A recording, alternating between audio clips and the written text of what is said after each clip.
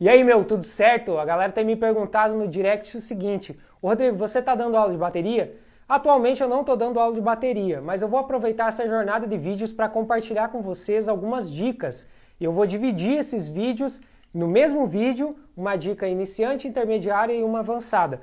Então a dica de hoje é o seguinte, vai para as três categorias, iniciante, intermediário e avançado. Vocês vão baixar aí no celular de vocês um aplicativo chamado Metrônomo. O metrônomo é um relógio musical. Ele vai contar o tempo, ele vai fazer esse som aqui, ó. Ok? Então, para as três dicas, você vai usar esse aplicativo. Ah, mas e se eu não, não, quiser usar, se eu não baixar? Daí você vai fazer xixi na cama e vai ser um problemão. então vamos lá. A dica 1 para o iniciante é para perder a mão de alface. O que, que é a mão de alface? Não é tocar fraco, mas é tocar sem precisão. Eu vou tocar um groove aqui e você vai entender, tá?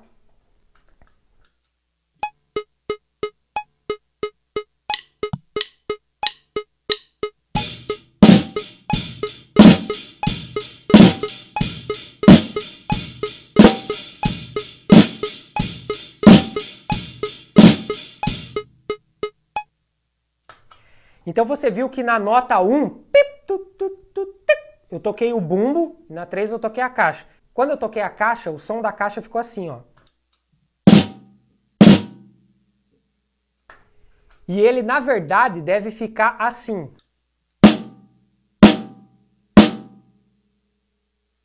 Percebe a diferença?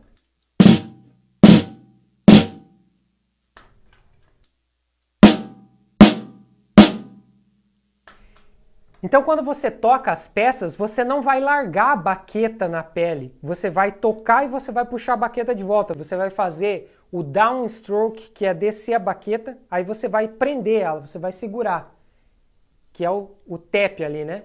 Então, down, tap, né? Segurou, e aí você vai subir, que é o heel up. Então, tocou, segurou e aí subiu de volta, entendeu? Não é isso aqui, ó. Não é largar a baqueta na pele. Desceu, encostou, parou, subiu. Essa é a primeira dica. A segunda dica, ainda com o metrônomo, agora de nível intermediário, é para você que já toca com precisão, mas precisa ser mais aplicado na questão do tempo, do BPM. Então, enquanto você estiver tocando com o BPM, você vai prestar atenção se você está escutando o metrônomo e você precisa tocar mais cravado no tempo. É, por que, que você tem que fazer isso? Porque você se torna um profissional melhor, você toca melhor, o teu som fica mais limpo, mais preciso. Então, é, você vai estudar com metrônomo e o ideal é que você não ouça o metrônomo quando você tocar a peça. Então, por exemplo, a gente tem o o 1, que é o, esse você vai tocar o bumbo. No 3, quando você tocar a caixa, tenta tocar tão juntinho, tão é, é, dentro do clique que você não escuta aquele, aquele clique. Eu vou dar um exemplo.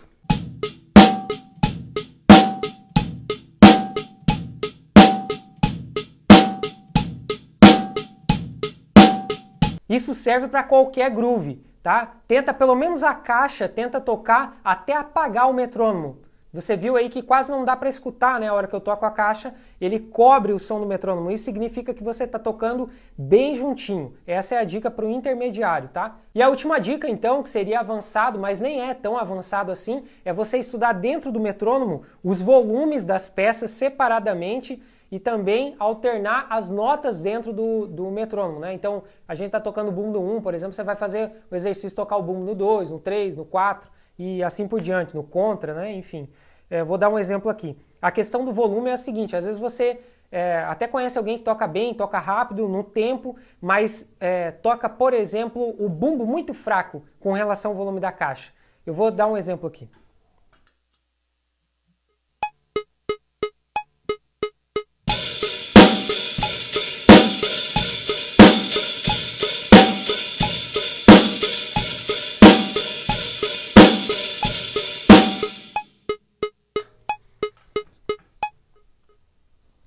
Você percebe que cobre o som do bumbo. E o ideal é que você equalize esse som tá? Na pegada. Então você vai tocar o bumbo com uma intensidade, a caixa com uma intensidade, os pratos normalmente tem mais volume, você vai tocar os pratos mais fracos, tá? Para o teu groove já soar equalizado. Então você vai fazer o exercício de volume é esse aqui, ó. Você vai tocar primeiro forte o bumbo, depois forte a caixa, depois forte o timbal, tá?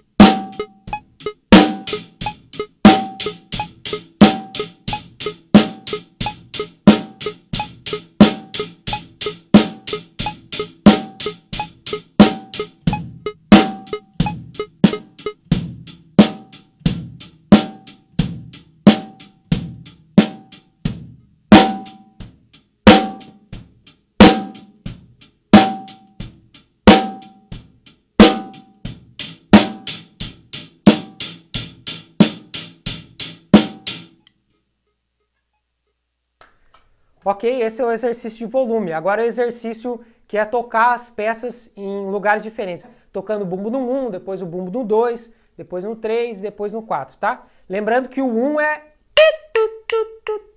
esse acento. Beleza? Vamos lá?